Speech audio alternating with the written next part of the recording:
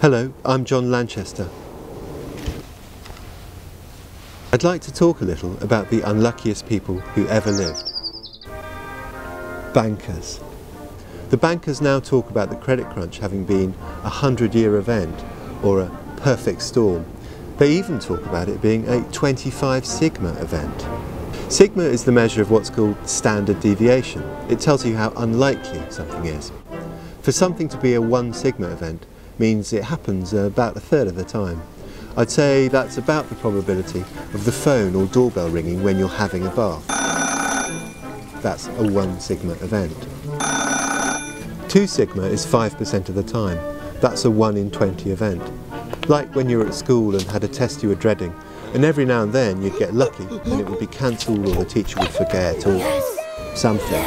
5 sigma, we're going way past the edges of the humanly probable. 1 in 1.74 million.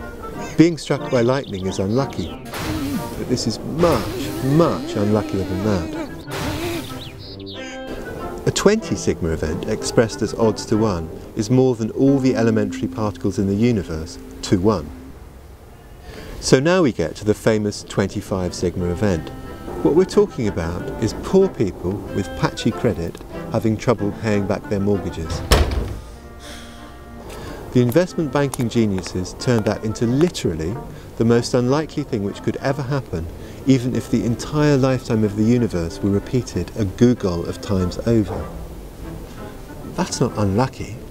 Like a lot of other things to do with the big banks, that's just wrong. In fact, to go by their own numbers, it means that the banks are the wrongest people who ever lived. Finally, something we can agree on.